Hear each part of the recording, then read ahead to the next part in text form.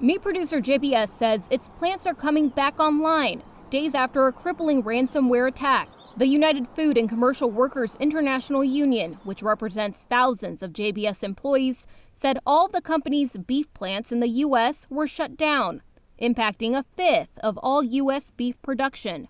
After the hack, the USDA said wholesale prices for choice cuts of beef sold in boxes on Wednesday rose by about $5 per 100 pounds. That's on top of prices already elevated amid the pandemic and higher demand worldwide. JBS sells under the Swift and Pilgrim brands, among others at stores such as Costco and Food Lion. Still, Kevin Grier, a livestock and meat analyst, says we may not feel the immediate impact in the grocery aisle. Retailers don't just react right away. They're not going to increase their prices they increase their prices, they want to make sure that this is a, long term thing. He says cattle feeders will be hit the hardest. They have been up against the wall for uh, so long because when, when you can't process the cattle, all that means is that more and more of them back up. You know, more and more are out there, and more and more means lower and lower prices. The White House says the ransomware attack appeared to be coming from a criminal organization based in Russia.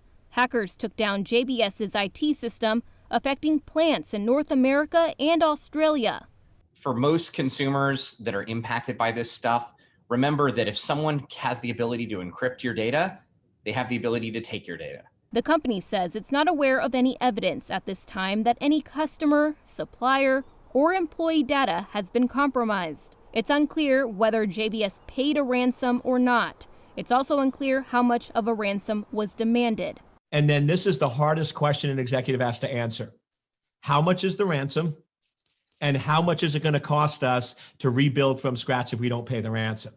Do we just pay the ransom, get back up and running, and then put intense effort into implementing proper security measures? Newsy reached out to JBS for comment, but did not immediately hear back. Stephanie Sandoval, Newsy.